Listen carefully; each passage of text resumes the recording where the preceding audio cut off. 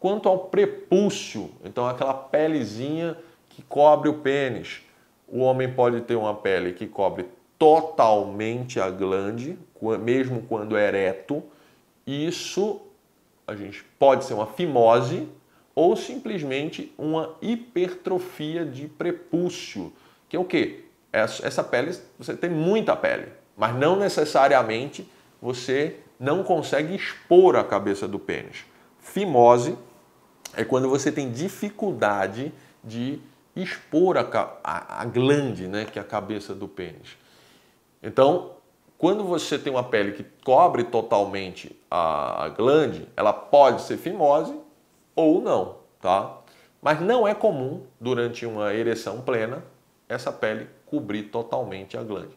E aí ela pode cobrir parcialmente a glande, né? Ou então, que é o mais comum, quando você tiver em ereção, ela se retrai totalmente e você tem uma exposição completa da glande. Então tem essas variações quanto ao prepúcio.